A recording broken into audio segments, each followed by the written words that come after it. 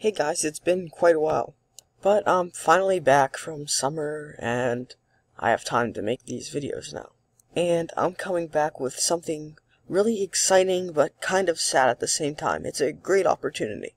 My good friend WolfLovers99, he has a tan headdress and he would like me to trade a certain item for it. I mean, this guy is super rare. He has first glitched rings, uh, magenta furry hats, beta tiaras, every single color of um, the headdresses, at least two of, e of each of them.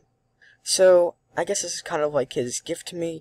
I really don't want to trade this item, but it's way undersold yet. Anyways, here we go. Alright.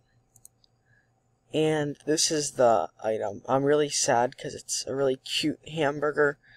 And it's like the hottest thing around. Anyways. Alright, let's see what happens.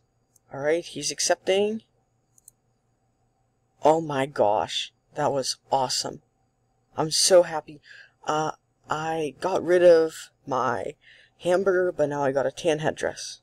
Anyways, that is awesome. I have a tan headdress right now, so I'm super excited. Also, I would like to thank my fellow human right here.